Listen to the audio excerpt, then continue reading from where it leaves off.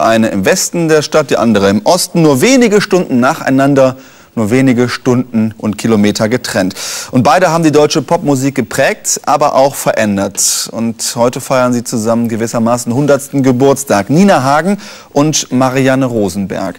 Bei allen Parallelen sind doch grundauf verschieden. Von brav zu punkig, vom Punk zur Politik, von der Rebellion zum Herzschmerz bis hin zur Herzinfarktmusik. Wir sagen beiden herzlichen Glückwunsch zum Geburtstag. Schalt die Glotze da war sie, 1978, Deutschlands erste Punkrockerin, Nina Hagen. Frisch ausgebürgert aus der DDR, mischte sie nun den Westen auf. Am 11. März 1955 kommt sie auf die Welt, in Ostberlin. Von ihrem Papa Hans Hagen, er wurde vor den Nazis ins KZ gesteckt, hat sie das Rebellische, sagt sie.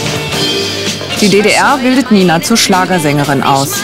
Aber ihre Texte werden zensiert, sie provoziert Fopos, wird aus der FDJ entlassen und als Ziehvater Wolf Biermann ausgebürgert wird, nimmt sie sich auch die Freiheit.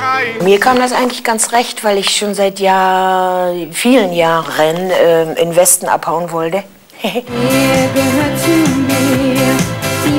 Hier feiert gerade Marianne Rosenberg ihre größten Erfolge. Man singt nicht mit den Stimmbändern, man singt mit dem Herzen. Am 10. März 55 wird sie geboren, in Westberlin. Sie singt für ihr Leben gerne und durch ihren Erfolg geht es ihrer Familie besser. Sie waren arm. Vater Otto Rosenberg hat Auschwitz überlebt. Lange wollte er nicht, dass Marianne darüber spricht, dass sie Sinti sind.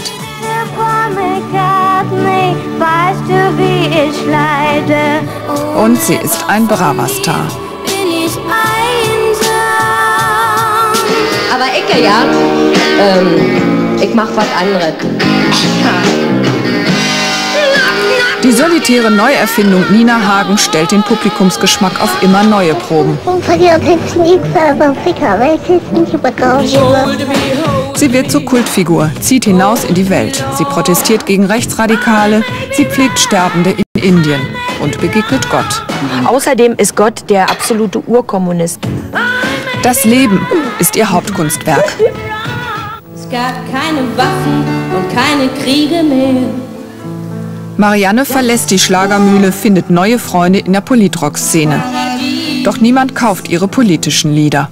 Mit ihren alten Hits aber wird sie zur Königin der Schwulen- und Partyszene.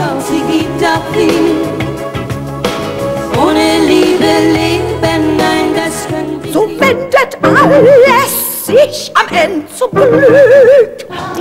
Nina singt heute Brecht oder Swing, macht Bücher, Mode und Talkshows, ist Deutschlands punkige Lady.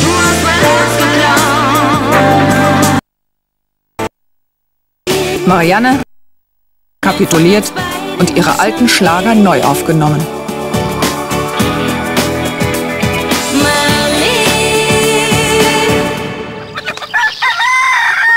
Sport im ARD Morgenmagazin, präsentiert von der Post.